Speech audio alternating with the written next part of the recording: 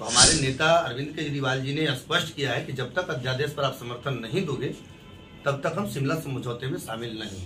लेकिन वहाँ पर रातों रात अध्यादेश ला कर करके फिर उस जो आदेश था उसको ठंडे बस्ते में डाला। अध्यादेश ला कर करके आप संघीय ढांचा को कहीं पर भी भारतीय जनता पार्टी कमज़ोर कर सकती है। इस तरह से समर्थन कांग्रेस पार्टी से मांगा था।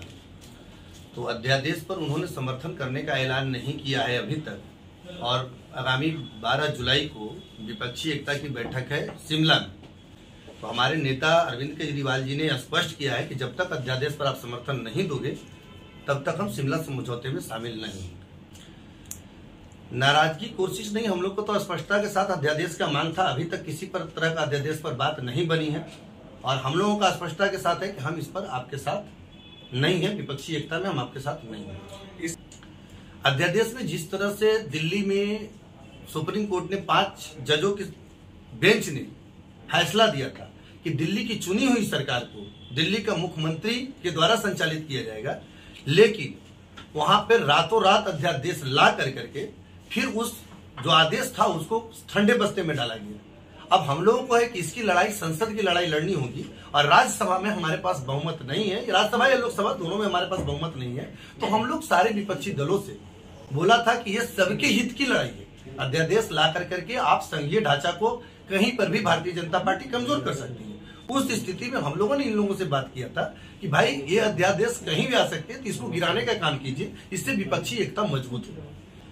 देखिए, बात जहाँ तक तो पटना में तो किसी तरह का कोई निष्कर्ष निकला ही नहीं विपक्षी एकता का। जहाँ तक आप लोग मीडिया लोगों को भी जानकारी होगी कि किसी तरह के विपक्षी एकता की बात नहीं रही। अब रह गई कि राहुल गांधी प्रधानमंत्री के चेहरा।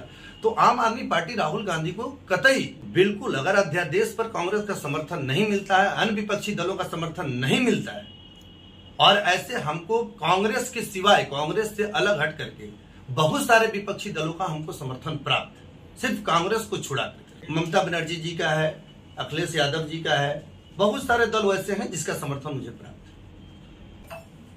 कभी ऐसी बात नहीं हुई है। एक 25 जून की घटना थी, जिस दिन ये दुर्भाग्यवश घटना घटी है, वो भी मैंने बाद में पता चला तो उस दिन आपातकाल था, मुझे याद नहीं था। और आपातकाल पर जेपी के चेली चपाटे जो थे, वो अब गठबंधन में आ गए थे, मौन व्रत धारण किए हुए थे। तो उस दिन आम आदमी पार्टी की टोपी बना करके अपने कार्यकर्ताओं को उन्होंने पोस्टर फाड़ने के लिए भेजा था। तो इसमें तो हमारे मुख्यमंत्री, दिल्ली के मुख्यमंत्री जी अरविंद केजरीवाल जी का बयान आ जा चुका है। उन्होंने स्पष्ट तौर पर कहा है कि हम हिमाचल वाले बैठक में नहीं शामिल होंगे। तो जब मेरे नेता का बयान आ चुका है तो सिर्फ़ एक व्यक्ति विशेष इसके लिए कैसे जिम्मेवार हो सकता है?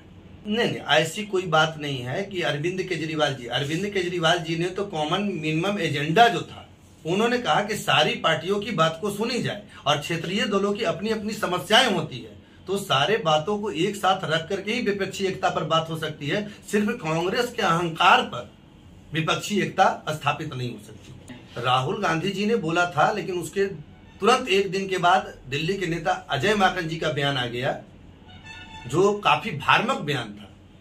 उन्होंने स्पष्ट तौर पर कहा था कि अध्यादेश पर समर्थन हम लोग नहीं करेंगे। तो अजय माकन जी के बयान के बाद हम लोगों ने स्पष्ट तौर पर बोला कि अगर अजय माकन जी इस बात को बोल रहे हैं तो अजय माकन जी पार्टी के एक बड़े नेता हैं। उनका बयान ऑथेंटिक माना जाना चाहिए। उस पर हम लोगों ने कहा था कि अध्यादेश पर अगर हम लोग को समर्थन नहीं मिलता तो हम लोग भी शिमला में समर्थन नहीं।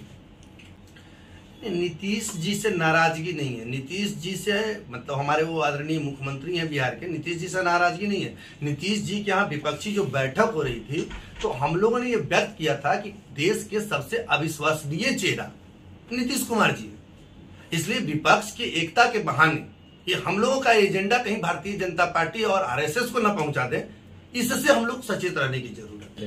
देखिए प्रधानमंत्री जी चोर के खुद वो मॉनिटर हैं उनके गुजरात के जितने भी चोर हैं, विजय माल्या, मेहुल चौकसी, ये सब सारे जो लोग हैं, अभी तक वो कहाँ हैं? प्रधानमंत्री जी को खुद जवाब देना चाहिए। वो देखिए, वो एक भ्रम फैलाने की कोशिश करते हैं।